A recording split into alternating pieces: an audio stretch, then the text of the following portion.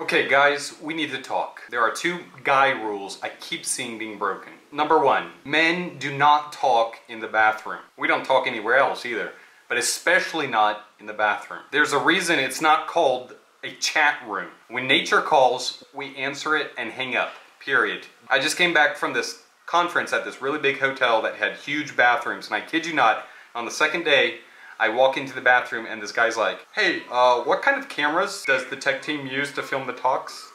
I was wondering what kind of cameras. You see, this guy, he's a man who seizes the moment. Come hell or tight bladder, this guy has to have an answer for his question.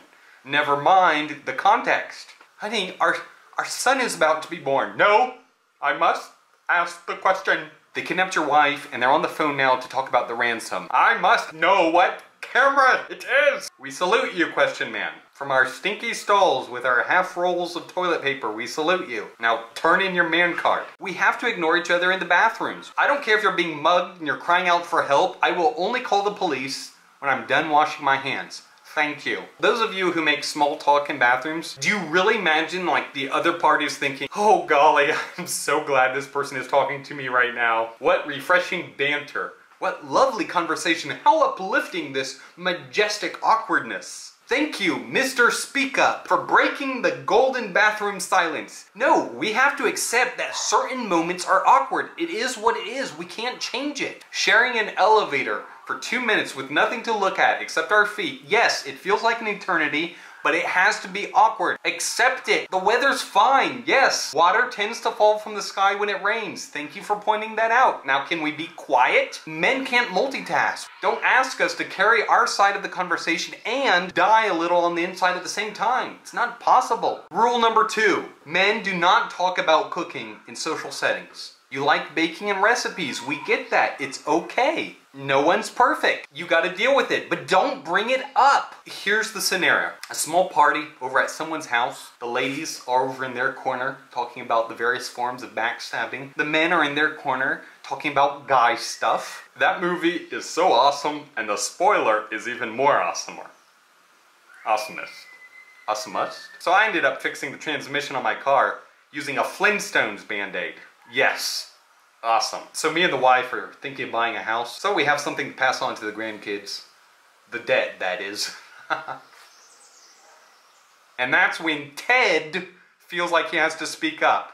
Yeah, so I've been testing with a lot of recipes. I usually end up making too many servings, and then we have to eat delicious roast beef for a couple of days. That's it. You've done it, Ted. Good for you. This is like tap dancing on a bear trap. There's no way this can end well. The conversation dies in both groups. The men are thinking, where can we hide his body? And the women are like, what? There's a man who cooks? Who is this angel of light? It's the bro code. Guys do not put other guys in hot spots. We simply don't do it. And now take a wild guess how the drive home is going to be for all the other men in the living room. Oh my goodness, did you know that Tina's husband cooks for her? That's so awesome. Why don't you do that? Well, I did actually make supper for your parents that once. Yes, you made granola with milk, and my mother is lactose intolerant. She could have died. Yeah, I know, right?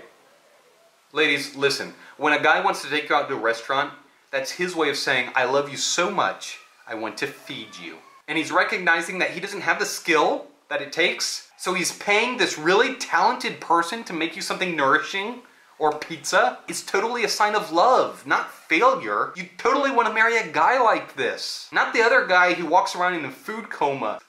Oh, Tracy, what did you put in these cookies? Is that cinnamon or asparagus? And we're all thinking, would you just choke to death on that?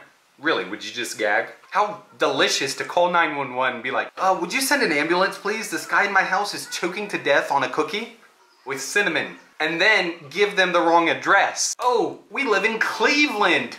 Goodness, the ambulance is probably halfway to Las Vegas by now. Welp, Tina, give me some more cookies, would you?